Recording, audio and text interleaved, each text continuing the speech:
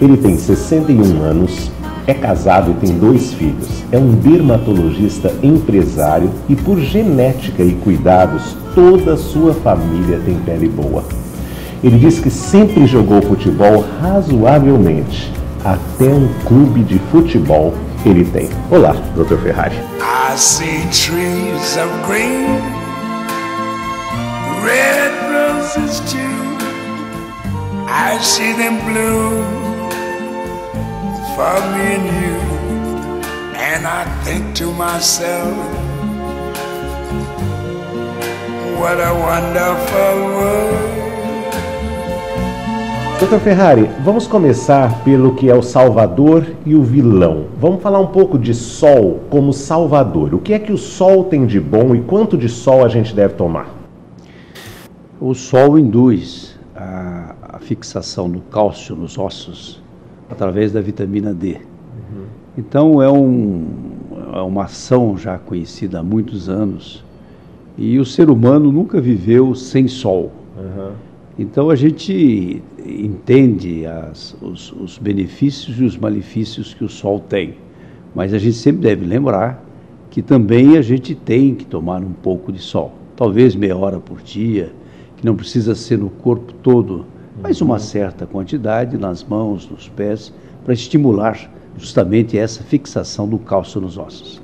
Para prevenir o que o sol tem de ruim, existe o filtro solar. Eu gostaria que o senhor me falasse da frequência que devemos usar e do fator que devemos usar.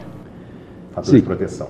É, o filtro é, foi introduzido no mercado há uns 30 anos, mais ou menos, é, com a descoberta de substâncias químicas que barram a radiação ultravioleta. E isso faz com que a pele seja menos agredida pelas radiações solares, principalmente o ultravioleta tipo A. É, e o desenvolvimento da química foi fazendo com que esses filtros ficassem melhores. Até uns 15 anos atrás se considerava que um filtro 15, é um fator de proteção 15, era uma, um, bom, um bom filtro. Hoje se eleva um pouco mais porque eles também aumentaram a capacidade de proteção. É um excelente filtro é um filtro de fator de proteção 30. O que significaria, assim, a grosso modo, que o indivíduo poderia ficar 30 vezes mais ao sol para ter o mesmo tipo de lesão, o mesmo tipo de dano nos seus tecidos. E a gente não se protege só com o filtro, né? O senhor fala de outros tipos de proteção. Exatamente, você pode usar roupas, que é uma excelente proteção. Hoje existem roupas no mercado até com filtros já incorporados, filtros, boné, chapéu. É, de uma maneira geral, esses são os, os utensílios que são utilizados junto com o filtro solar. Então é ficar na praia, mas de vez em quando debaixo do guarda-sol, às vezes com a camiseta. É, exatamente, tudo isso aí favorece. Só que a gente sempre quando pensa em sol, pensa muito em praia, piscina, mas a gente como dermatologista é, olha mais o lado profissional. Você imagina no estado de São Paulo, por exemplo, quantos descendentes de europeus, principalmente os, os italianos, que trabalharam e trabalham até hoje na zona rural. São indivíduos totalmente desprotegidos que pegam o sol continuado o tempo todo. Mas? Esses é que são mais problemáticos em relação ao sol. Mas eles não têm acesso a filtro solar? Não tinha, atualmente estão começando a ter. Ah, é? Bom, mas a chapéu e roupa tem, né? Tem. Dizem também que a melanina é o melhor protetor solar. O senhor pode explicar o que é melanina? A melanina é o pigmento natural da nossa pele. A cor da pele ela é dada por três fatores: o sangue que corre dentro dela e debaixo dela, eh, alguns pigmentos da alimentação, como os- o caroteno, esses pigmentos vermelhos eh, que existem dos vegetais, e o pigmento nosso natural, que é a melanina. A quantidade de melanina que existe na pele de cada um é que vai diferenciar a cor dessa pele de uma maneira geral.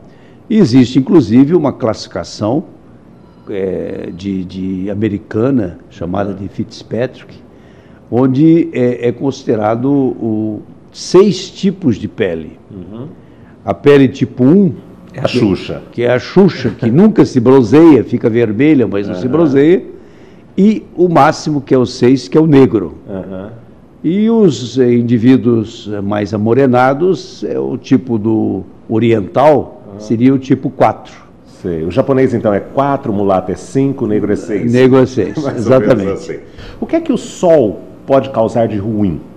O excesso de sol, Arthur, ele pode provocar danos a curto e a longo prazo. Uhum. A curto prazo são as queimaduras do sol. São os indivíduos que ficam muito tempo e ficam avermelhados, ficam toxemiados, com náuseas, vômito, perde líquido, pode ter hipotensão e, inclusive, perda de consciência. Uhum. Isso é aquilo que se chama de insolação. A longo prazo, a, co a continuidade do Sol lesa o DNA dessas, das células e modifica a estrutura da pele. E essa pele vai se transformando gradativamente numa pele com uma pior qualidade nas suas fibras colágenas, nas suas fibras elásticas. E o resultado disso é uma coloração mais amarelada, uma coloração diferente, é o aparecimento de rugas pela perda de elasticidade e, na sequência disso, o aparecimento de lesões, chamadas lesões ceratóticas, uhum. que além de deixar a pele feia, é, áspera, com elevação, com relevo, ainda ela propicia a formação do câncer de pele. O que é que eu posso fazer para evitar o câncer de pele? E quando é que eu devo desconfiar que devo procurar o dermatologista por causa dessa questão? O, o câncer de pele deve ser evitado como uma filosofia, uma, uma, uma não é filosofia, uma conduta é, de se evitar o excesso de sol desde a infância, porque a radiação solar ela é acumulativa uhum. e progressiva. Sim. Então, desde a infância, a gente já tem que ensinar as crianças que o excesso de sol não é bom. Ah, em relação à prevenção dos tumores de pele, quando se vê que o indivíduo, quando o indivíduo sente que tem manchas diferentes, manchas que sangram, elevações, nódulos, modificações na pigmentação, são sinais é, de transformação dos tumores, de, de, de, dessas lesões em tumores de pele. E é aí que você deve procurar um profissional para que seja retirado e, felizmente, os, os, os, vários tipos de câncer de pele que existem, eles são de um comportamento razoavelmente benigno, uhum. exceto um deles, o chamado melanoma, uhum. que normalmente aparece em cima de pintas, os chamados nevos, mas que também está associado com, a, com o sol e que esse sim tem muita gravidade. Questão de opinião, volta já.